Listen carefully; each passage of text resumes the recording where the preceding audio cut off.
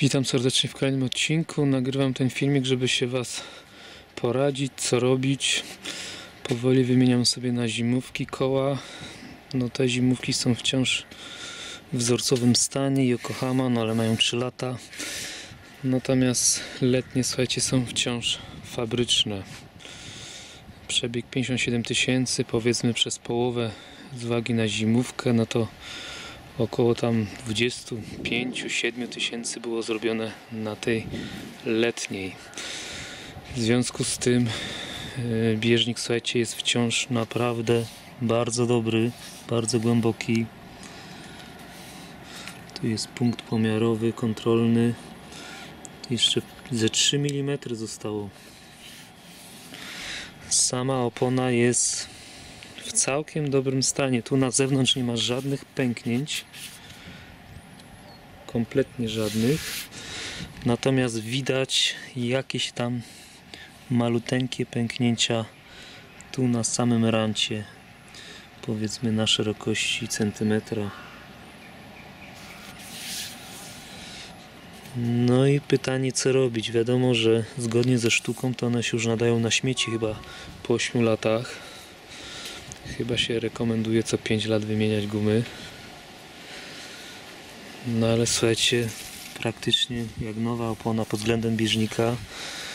Czy to już wyrzucać, czy nie? Nie wiem, słuchajcie, co robić.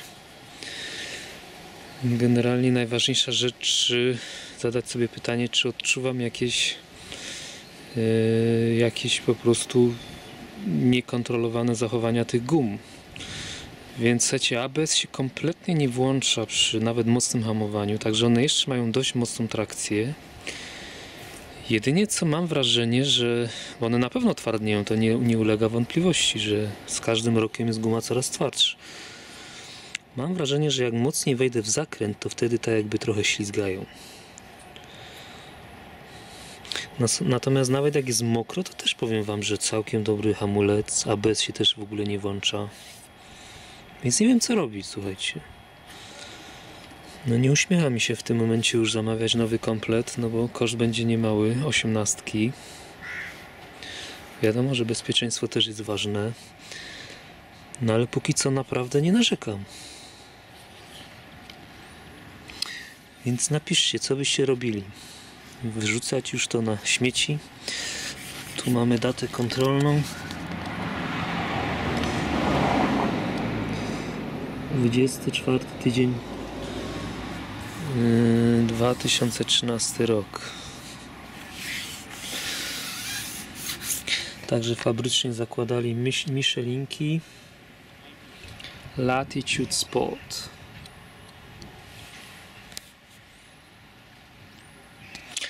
No, a jakbym kupował, to co tu słuchajcie kupić?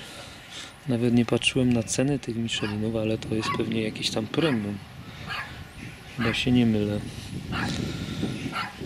Więc nie wiem, czy bym aż tak szalał, kupował jakieś premium bardzo drogie, kiedy ja generalnie po prostu tłuczę się po mieście. Tylko raz na rok Chorwacja i tyle. Okej. Naprawdę jestem ciekawy Waszej opinii. Co byście zrobili? Dzięki. Trzymajcie się.